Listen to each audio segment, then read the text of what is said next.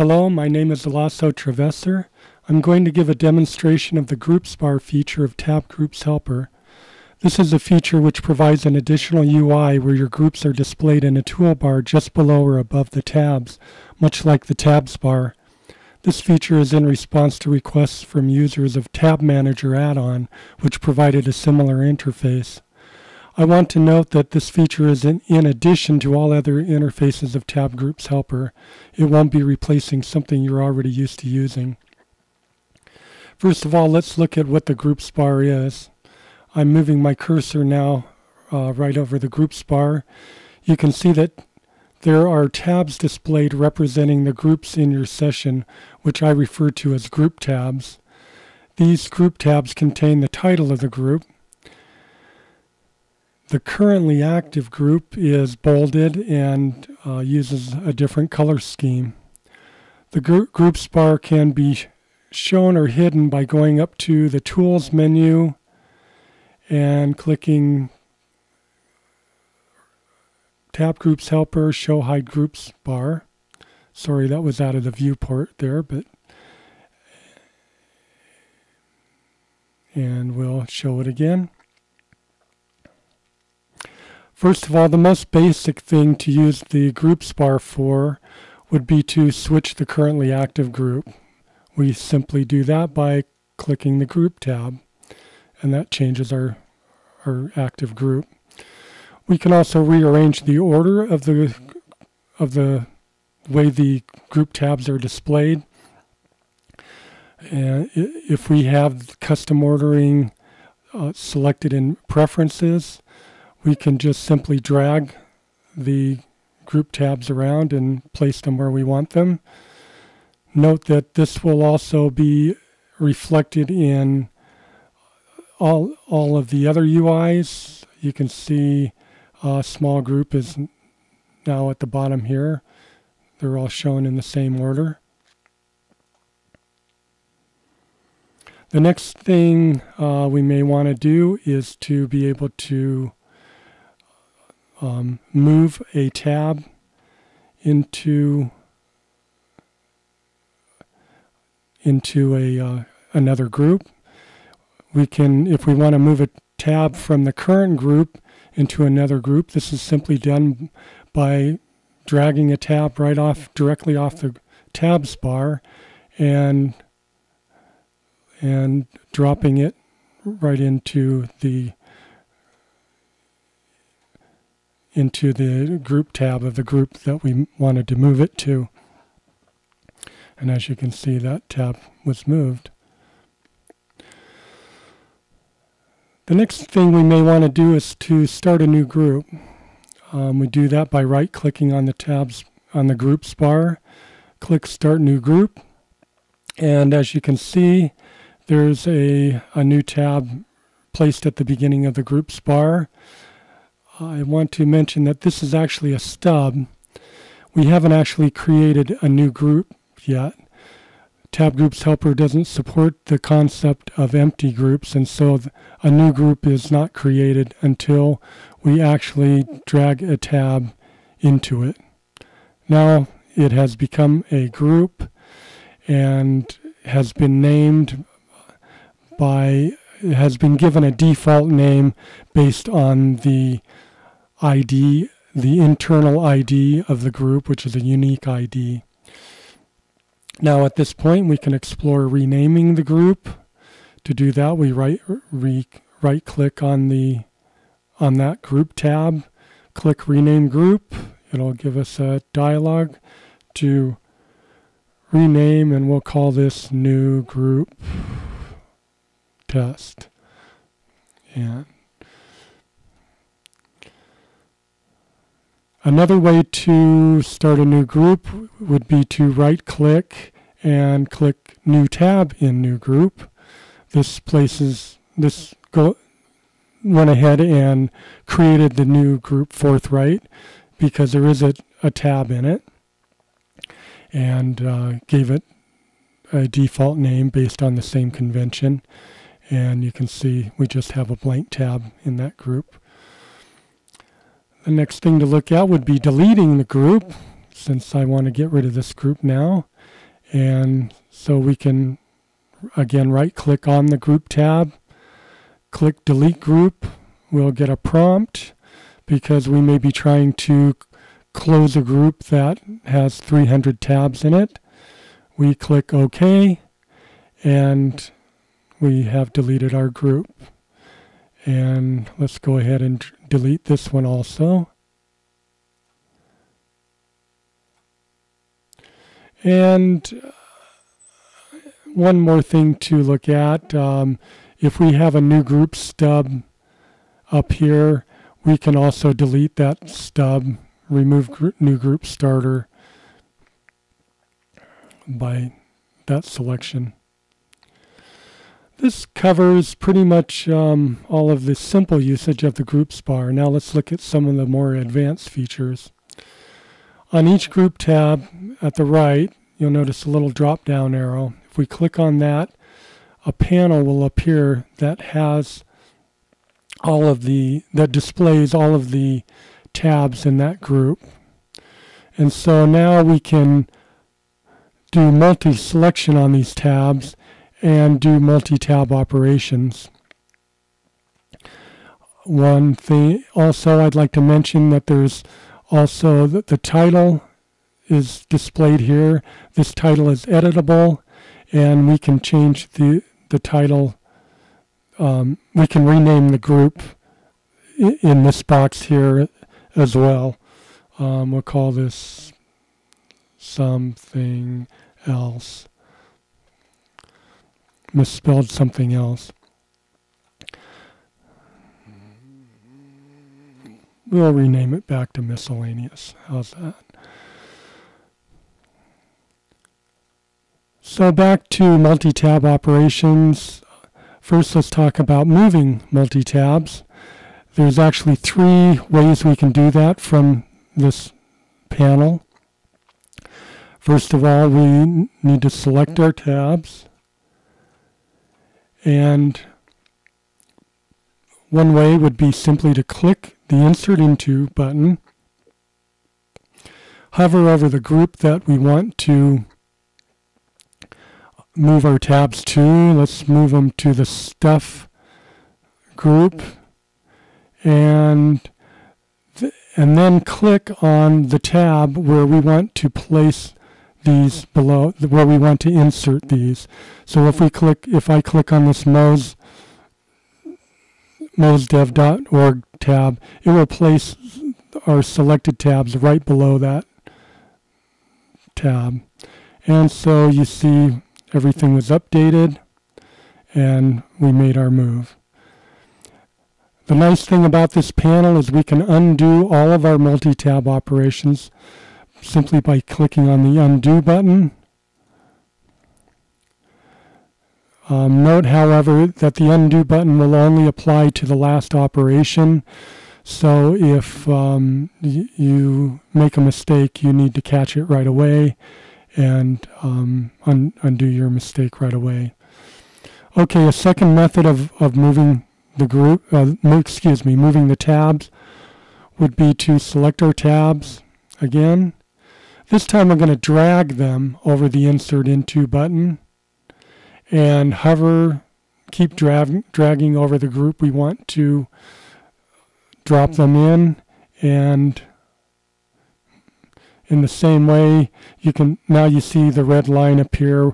This will be where the tabs are inserted. And you can see the change was made again. And we're going to go ahead and undo that again and one thing I'd like to point out about this method of moving tabs is we can move tabs within um, the same group. We don't have to move them to another group. I can move them from miscellaneous to miscellaneous, and this gives me an option to do a side-by-side -side moving of tabs within the same group. This may, I'm going to go ahead and move these to the bottom of the of the group. And um, this may not seem like a big deal with a few tabs that we're using here, but if we had a group with two or three hundred tabs, uh, we could find it very advantageous to be able to move tabs easily that way within the same group.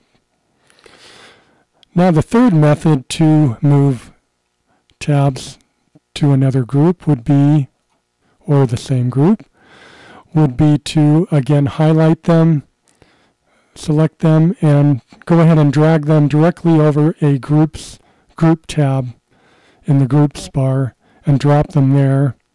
And this will place those tabs at the bottom at the end of the um, at the end of the group.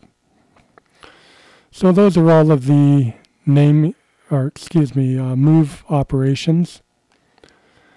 Um, now let's look at some other operations.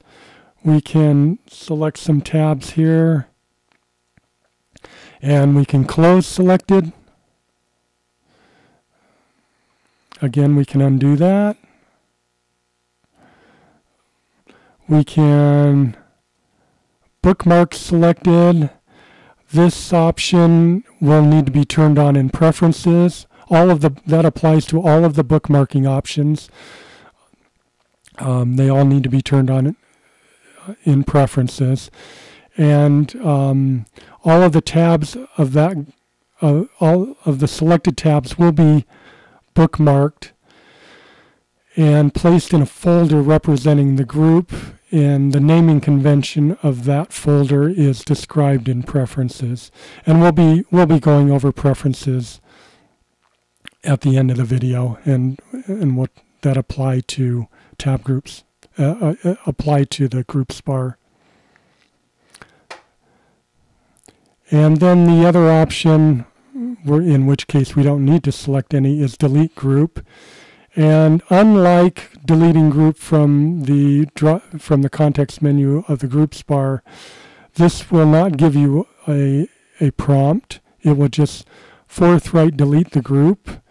And the reason for that is because we can undo that operation and it will give us our group back and all of our tabs. So um, that pretty much covers the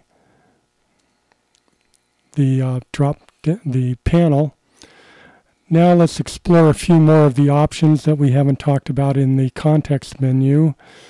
Um, we can we can open our our main UI panel by clicking Manage Groups. We can arrange groups order, this provides us with another interface to arrange the order. It's the same as, accomplishes the same thing as dragging the group tabs on the groups bar, only we can do it in a vertical fashion. We can also um, turn the preference on and off, which will allow us to sort lexicographically or to um, sort custom group ordering.